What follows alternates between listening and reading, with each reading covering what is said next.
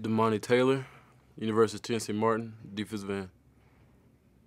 Give us your general thoughts about the upcoming season. I believe it's going to be a pretty good season. We've got a lot of guys to come back this summer and work. And this spring was a real good one, so I have big, big expectations. What can we expect from the UT Martin defense this season? Uh, domination.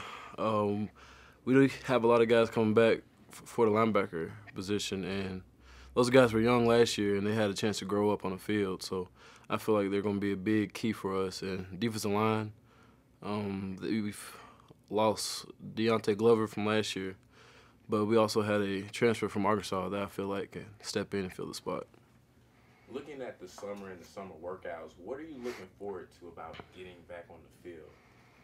Um, just basically, we, I, we got our strength conditioning coach last year, and all of us had a chance, you know, to just sit and marinate under him for about a year.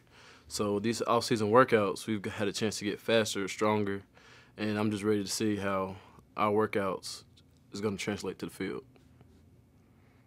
What about your team and your team spirit and your athletes? Like, what do you feel you you you that you guys gained over this offseason? Um, I, th- I believe we became mature, mature over the offseason. Um, you know, there's a lot of times where Coach Simpson or any of the coaches, they wouldn't have to tell us to go out and get extra work because there's already people out there. So that's a big that's a big uh, positive for our team this year.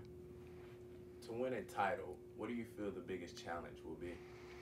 Um, coming to play early. You know, last year we kind of just felt our, felt the other team out during the game and try to win the game late, and we can't do that this year. But I think our big biggest obstacle was is just coming to play early. And give me your goal and the team's goals for this year. Oh, well, the ultimate goal is to win a national championship, but our primary goal right now is to dominate the OVC and uh, get the OVC ring, and then go to national championship and get that ring.